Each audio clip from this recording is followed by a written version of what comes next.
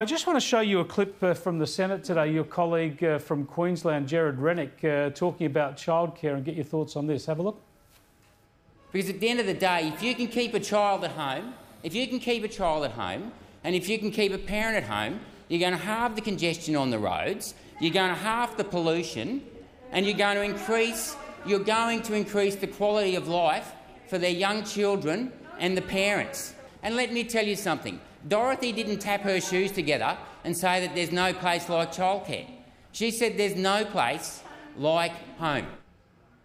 Well, there you go. Uh, Gerard Rennick there today, Michael Sukkar. I'm all for choice, but he sounds like he's harking back to a bygone era.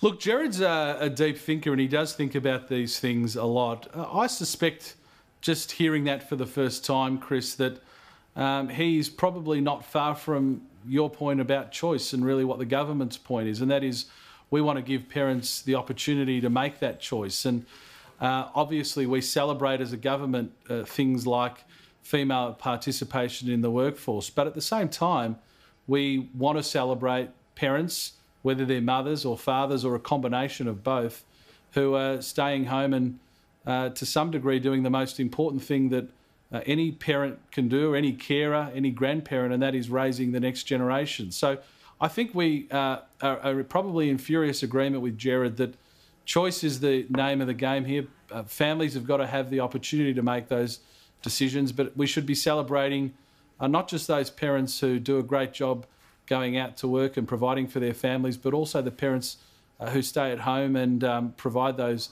caring responsibilities. And as I said, the most important job that any parent has is uh, raising their child because they're the citizens of the future uh, who will um, continue to ensure Australia is the country it is.